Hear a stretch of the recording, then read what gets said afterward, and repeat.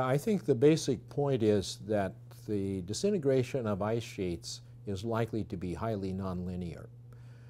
Um, we know that in the Earth's history, when ice sheets have uh, collapsed and sea level has gone up, we've had sea level rise of several meters in a century.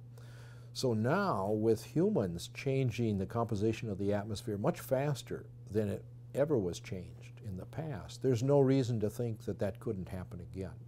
And in fact, when we look at uh, what's happening in around Antarctica and around Greenland, but especially around Antarctica, we become very concerned because what we see is that the ice shelves are melting. The ocean is getting warmer at depth and melting the ice shelves, the tongues of ice that come out from the ice sheet into the ocean and which buttress the ice sheet. Those are melting and as they as they melt, that allows the ice from the ice sheet to be discharged more rapidly into the ocean.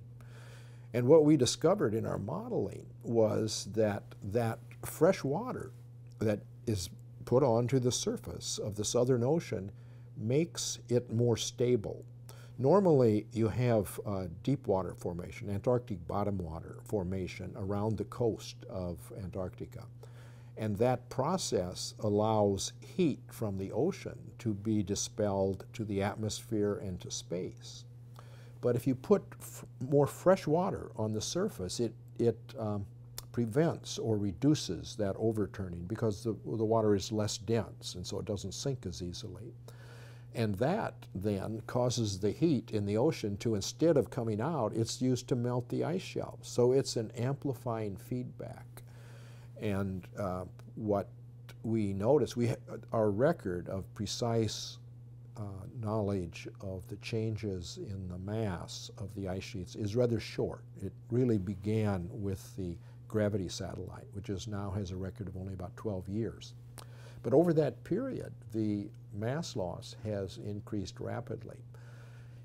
If it continues, to double at the rate that it has in the last decade, then we could get within 50 years meter scale sea level rise. And you would rapidly, within another one or two decades, get multimeter sea level rise. So that's an enormous threat.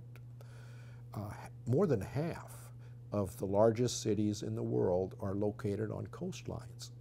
The economic consequences of losing functionality of all those cities would be incalculable. So it, it's there would be so many refugees from China, for example, has more than 300 million people living within 20 meters of sea level. So we can't let that happen. We can't let the ice sheets uh, disintegrate and sea level rise many meters. It's just, it would make, um, it, it seems hard to imagine how the, the planet would be governable if we get such uh, dramatic changes because the economic consequences and the social consequences would be enormous.